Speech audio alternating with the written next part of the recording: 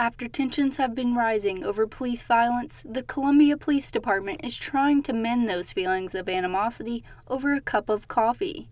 Coffee with a Cop is an initiative that several police departments throughout the country and world have been doing to show that cops are just people trying to keep citizens safe. Officers like Terrell McCombs enjoy engaging in the community by doing events like these.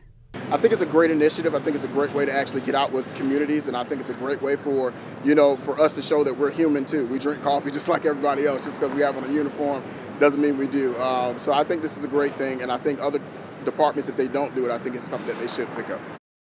Coffee with a Cop was created to build trust between police officers and citizens so they can get to know each other and discover mutual goals where they live and serve in.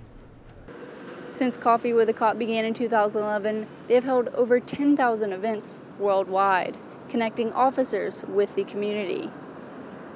Incidents like the murder of Walter Scott by a South Carolina police officer may put a bad light on the men and women in blue. It doesn't matter where you work, you're always going to have that one person that makes something look bad. And you know, we do have that, but here with the City of Columbia Police Department, we do our best to make sure that you see the good uh, because that's that's what we do. We're, we're here for good. We're not here for the bad things. We're not here for the mistakes that people make.